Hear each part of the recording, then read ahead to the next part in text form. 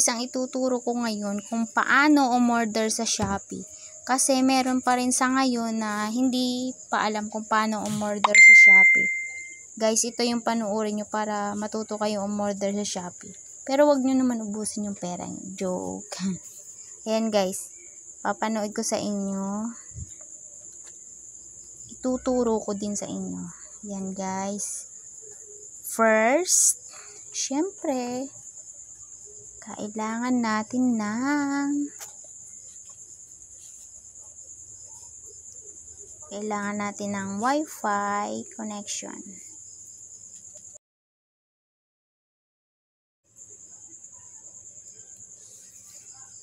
Second, kailangan natin mag-download ng Shopee. Pero kung meron na kayong Shopee na account, ah, Shopee na application, so hindi nyo na kailangan mag-download. Ako kasi meron na akong Shopee application. And, ayan guys, nandito na tayo sa Play Store.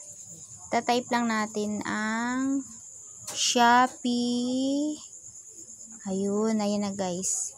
Tapos, yan, search. Ayan guys, lumabas na. Pagkatapos niyan, kasi meron na akong Shopee account, so, i-open na lang natin to.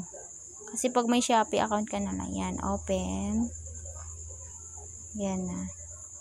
Wait lang, loading. Ayan, ayan na guys, nandito na tayo sa Shopee. Ayan, ganyan. Ayan, ganyan lang ang Shopee para lang siyang Lazada din. Ayan, may mga coins na rin ako. Tanggalin mo natin yan. Tapos, guys, ayan, hintayin natin. Ayan.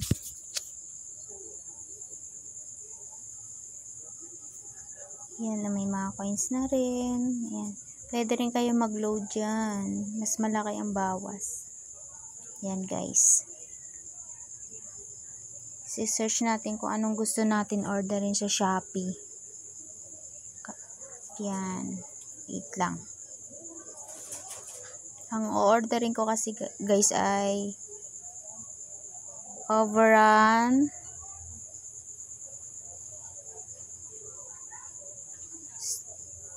t-shirt. Ayan. Ayan na guys. Yan. Pag, pag mga overrun t-shirt ang si-search nyo, yan, puro overrun lang yan ang lumalabas. Yan, tingnan nyo. Yan, scroll lang natin. Yan, puro overrun lang siya lahat.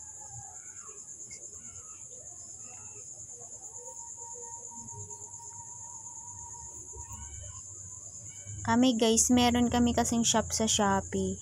Ang mga tinda doon namin, mga overrun t-shirt din. Uh, kaya, ang gagawin ko, isi-search ko yung shop namin. My Outfit Gallery.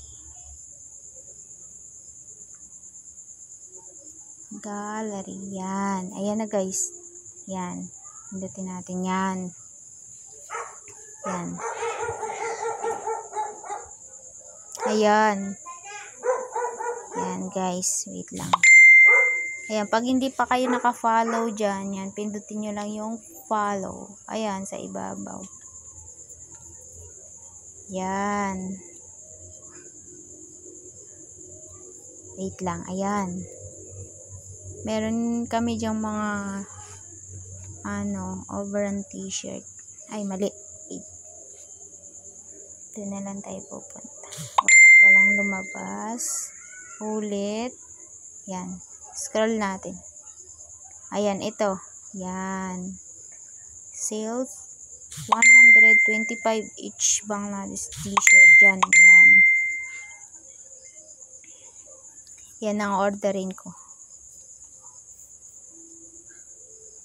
Yan, ayan guys. Oh.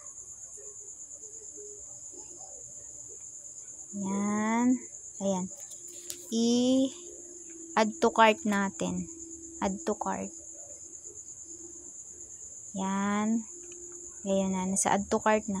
Pagkatapos ni add to cart, syempre, pupunta siya dun sa cart. Ayan yung nasa ibabaw. Ayan, nasa ibabaw, guys.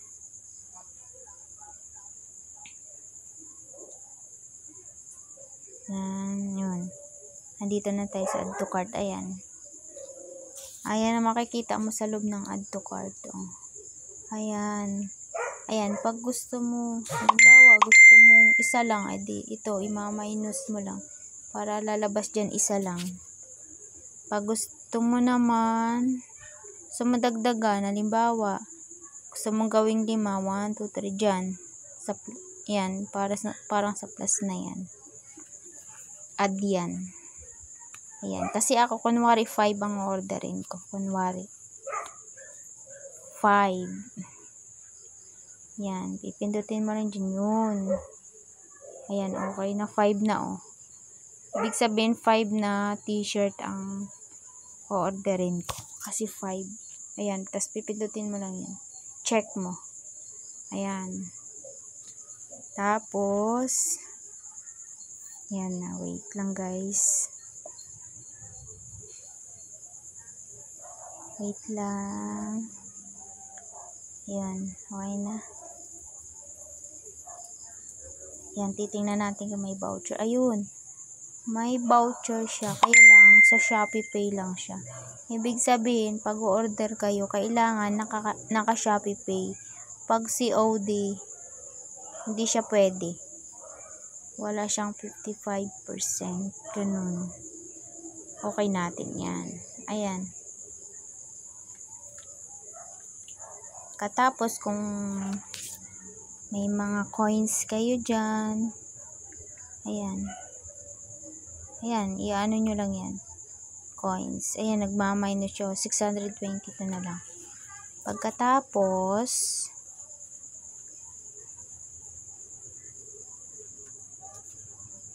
check out. Yan. Pindutin natin check out. Ayan. Ito. Ayan. Ayan, may mga ano dito, yung delivery address. Yan, pindutin mo yan. Yan guys ay kailangan ay kompleto. Kompleto number mo kasi dito ka tatawagan ng JNT pag di-deliver. Number mo, address. Yan. Kompleto dapat yung address, yung street, kompleto lahat dapat. Para pag COD, madali madaling malaman ni JNT kung saan. Kailangan kompleto. Ito pipiliin ko. May outfit gallery. Kasi pag na-order ako dyan ko lagi pinapadala eh. Tsaka sikat na kami. Sikat yung shop namin. Ayun. Hindi sa amin na. Sa bus ko pala. Ayan. JNT. Tapos preferred time. Ayan. Delivery anytime. Delivery during office hours. Ito kasi ang gusto ko. Delivery anytime. Deliver anytime yun. Check natin yan. Pwede rin ito kayo kung anong gusto nyo. Pero mas gusto yan confirm. Confirm natin. Wait lang guys ah. Ayan 83 lang shipping ayan pagkatapos nyan okay na lahat okay na ayan okay na yan yung mga ganyan guys Hmm, check natin para sigurado. Ayan. Okay na ang address. 83 ang shipping fee. Ayan. Pipindutin nyo lang yun yung place order. Tapos, yun. Okay na. Naka-order na kayo. Yan. Ganun lang kadali, guys. Ganun lang kadali. Tapos, ay, pwede na kayong umorder kung anong gusto nyo. Nandiyan na lahat sa Shopee. Diba? hindi ka na mapapagod. Di hintayin mo na lang yung order mo sa shop nyo, sa bahay nyo.